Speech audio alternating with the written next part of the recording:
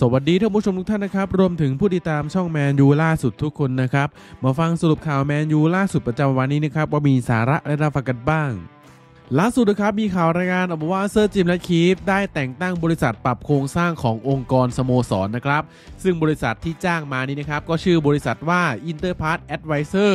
โดยบริษัทนี้นะครับจะมีหน้าที่เข้ามาวิเคราะห์ เพื่อลดต้นทุนของสโมสรแมนยูนะครับ และเขาจะแบ่งการทำงานออกเป็น 2 ส่วน ซึ่งส่วนแรกนะครับก็จะเป็นการวิเคราะห์ค่าใช้จ่ายของสโมสรแมนยู เช่น การเดินทาง การเซ็นสัญญากับบริษัทภายนอก การเซ็นสัญญากับนักเตะ และการเซ็นสัญญากับเหล่าบรรดาสปอนเซอร์ต่างๆ ที่จะเข้ามานับตั้งแต่นี้เป็นต้นไปนะครับ ส่วนระยะที่2นะครับก็จะเป็นการวิเคราะห์ต้นทุนในการจ้างพนักงานที่สโมสรแมนยูซึ่งคาดว่านะครับในส่วนนี้เนี่ยมันจะนำไปสู่การลดอัตราพนักงานลง แล้วก็มีโอกาสนะครับที่จะปลดพนักงานที่ไม่จำเป็นออกสูงถึง 20-25%กันเลยทีเดียวนะครับ อะก็ต้องรอดูกันต่อไปนะครับว่าทางหน้าเซอร์จิมเนี่ยจะสามารถลดต้นทุนที่สโมสรแมนยูได้มากน้อยเพียงใดนะครับอะเกือบลืมไปนะครับ อันนี้ก็ตามรายงานจากแมทฮิลผู้สื่อข่าวจากเดลี่เมลนะครับที่ต่อมารายงาน แจ้งให้ทุกคนมาเพื่อทราบนะครับผมต่อมานะครับก็ตามรายงานของมาร์ก้านะครับที่ออกมารายงานว่า ตัวแทนแมนยูไนเต็ดนั้นพยายามที่จะขายเมสันกรีนวูดในราคา 50 ล้านยูโร โดยในตอนนี้นะครับทางตัวแทนของแมนยูเนี่ยก็ได้พบปะกับสโมสรบาร์เซโลนาแล้ว และก็ดูเหมือนว่าในตอนนี้นะครับเหล่าบรรดาตัวแทนของแมนยูเนี่ยกำลังพูดคุยกับเอเย่นต์ส่วนตัวของกรีนวูดที่สโมสรเกเตเฟ่ซึ่งมีการคาดการณ์กันว่า หากสโมสรบาร์เซโลนาไม่สนใจที่จะดึงตัวกรีนวูดไปร่วมทีม แล้วก็ทางสโมสรแอตเลติโกมาดริดแล้วก็สโมสรซาอุดิอาระเบีย ก็พร้อมที่จะสนใจเมสันกรีนวูดในช่วงซัมเมอร์นี้นะครับ ต่อมานะครับก็ตามรายงานของร็อบดอว์สันผู้สื่อข่าวจาก ESPN นะครับที่ออกมารายงานว่าเซอร์จิมแรตคลิฟฟ์และเซอร์เดฟเบรลส์ฟอร์ดมีความกระตือรือร้นที่จะรักษาจอห์นเมอร์ทอฟไว้ที่สโมสรแมนเชสเตอร์ยูไนเต็ดเช่นเคย ซึ่งว่ากันว่าจอห์นเมอร์ทอฟจะมีส่วนร่วมอย่างมากในการวางแผนสำหรับทีมในช่วงซัมเมอร์นี้ และเหล่าบรรดาพนักงานของอิเนออสก็ต่างประทับใจจอห์นเมอร์ทอฟตั้งแต่พวกเขานั้นมาถึงสโมสรแมนยูนะครับ ต่อมานะครับก็ตามรายงานของ Daily Mail นะครับที่ออกมารายงานว่าเบนนี่แม็คคาร์ธีย์หัวหน้าผู้ฝึกสอนกองหน้าของแมนยูได้ออกมายอมรับว่า เขาไม่แน่ใจเกี่ยวกับอนาคตของเขาที่แมนยูในยุคของเซอร์จิมแรตคลิฟฟ์และก็ดูเหมือนว่าทางเบนนี่แม็คคาร์ธีย์ก็กำลังมองหาโอกาสที่จะเป็นผู้จัดการทีมบางทีมในอนาคตอยู่ในตอนนี้นะครับต่อมานะครับก็ตามรายงานของ 90 นาทีนะครับที่ออกมารายงานว่าแมนยูไนเต็ดเริ่มกังวลเกี่ยวกับราคาค่าตัวของฌองแคลร์โตดิโบ ที่ทางสโมสรนีซตั้งไว้ที่ประมาณ 47 ล้านปอนด์ถึง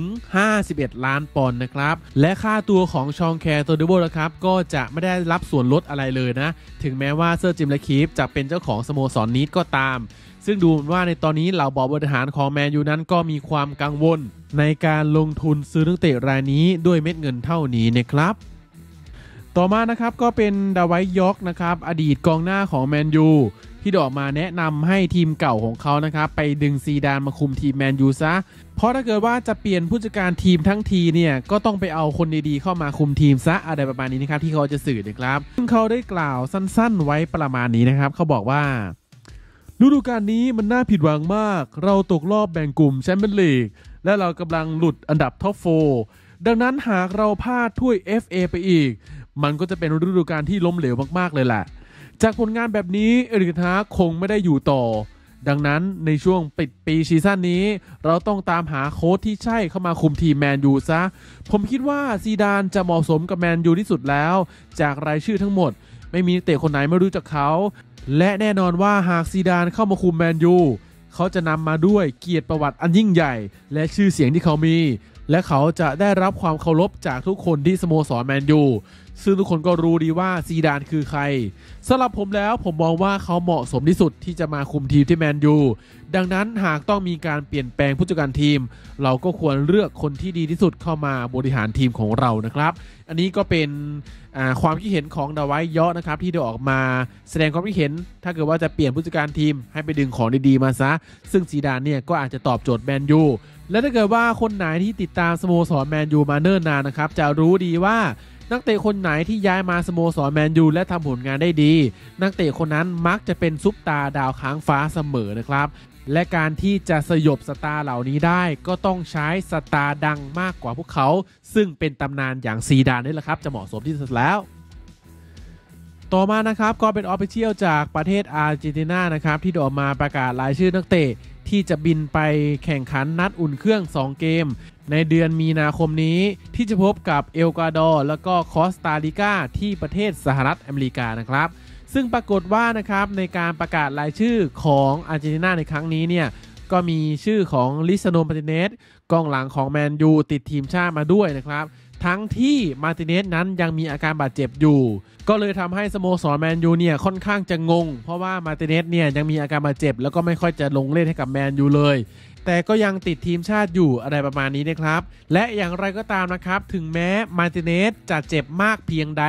ทางสโมสรแมนยูก็ยังต้องปล่อยตัวมาร์ติเนส ให้เดินทางไปที่สหรัฐอเมริกาอยู่ดี ตามการเรียกตัวของประเทศอาร์เจนตินาเพราะว่ามันเป็น FIFA Day นะครับ ทางสโมสรไม่ไม่สามารถที่จะรั้งตัวนักเตะได้นะฮะสำหรับมาร์ติเนสนะครับในฤดูกาลนี้นั้นก็เพิ่งจะได้ลงเล่นไปเพียง 10 นัดเท่านั้น และหลังจากนั้นก็เจ็บยาวไปเลย ซึ่งจะกลับมาลงช่วยแมนยูอีกทีเนี่ยก็อาจจะในวันที่ 30 มีนาคมนะครับที่แมนยูจะพบกับเบรนท์ฟอร์ดแต่ในวันที่ 30 มีนาคมเนี่ยก็ยังไม่ชัวร์นะว่ามาร์ติเนสจะกลับมาได้หรือเปล่า แต่ที่แน่นะครับในช่วงเดือนมีนาคมเนี่ยเขาจะเดินทางไปที่สหรัฐอเมริกา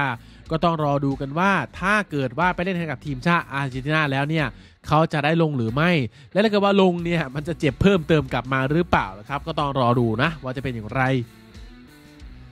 ต่อมานะครับก็ตามรายงานของเมโทรนะครับที่ออกมารายงานว่าสโมสรคริสตัลพาเลซเต็มใจที่จะปล่อยไมเคิลโอลิเซ่ให้กับสโมสรแมนยูมากกว่าสโมสรแมนซิตี้สโมสรเชลซีแล้วก็สโมสรลิเวอร์พูลในช่วงซัมเมอร์นี้นะครับ ต่อมานะครับก็ตามรายงานของเดอะบิลเลอร์นะครับที่ออกมารายงานว่าแมนยูไนเต็ดส่งแมวมองไปเช็คฟอร์มการเล่นของ เทินคูปไมเนอร์สกองกลางวัย 26 ปีของอาตาลันตาและว่ากันว่านะครับทางสโมสรอาตาลันตาก็ตั้งค่าตัวนักเตะรายนี้ไว้อยู่ที่ 60 ล้านยูโรสำหรับการย้ายทีมของเขาในช่วงซัมเมอร์นี้นะครับต่อมานะครับก็ตามรายงานของสกายสปอร์ตนะครับที่ออกมารายงานว่า ไม่น่าจะเป็นไปได้ที่ค็อบบี้เมนูจะถูกเรียกติดทีมชาติชุดใหญ่ แต่ค็อบบี้เมนูน่าจะถูกเรียกติดทีมชาติชุด U21 ซะมากกว่านะครับ ต่อมานะครับก็ตามรายงานของไทโรนมาร์แชลนะครับที่ออกมารายงานว่าราสมุสฮอยลุนด์ได้เดินทางมาที่แคร์ริงตันและคาดว่าจะลงซ้อมกับทีมชุดใหญ่ในวันนี้นะครับ สุดท้ายนี้นะครับก็อยากให้ทุกคนนึกถึงคำพูดของเอริกคันโตน่าที่เคยกล่าวว่า คุณสามารถเปลี่ยนเมีย เปลี่ยนพรรคการเมืองหรือเปลี่ยนศาสนาได้ แต่คุณไม่มีวันที่จะเปลี่ยนใจไปเชียร์ทีมบอลทีมอื่นได้หรอก ดังนั้นนะครับ ผมอยากให้พวกเรา เราสาวกปีศาจแดงทุกท่าน ร่วมแรงร่วมใจกันเชียร์ไม่ว่าจะแพ้ ไม่ว่าจะชนะ เราก็จะเชียร์ทีมปีศาจแดงไปด้วยกันนะครับ เพราะเราคือเราสาวกปีศาจแดงนะครับ อย่าลืมกดไลค์กดแชร์ กด Subscribe เพื่อเป็นกำลังใจให้ผมทำคลิปต่อไปด้วยนะครับ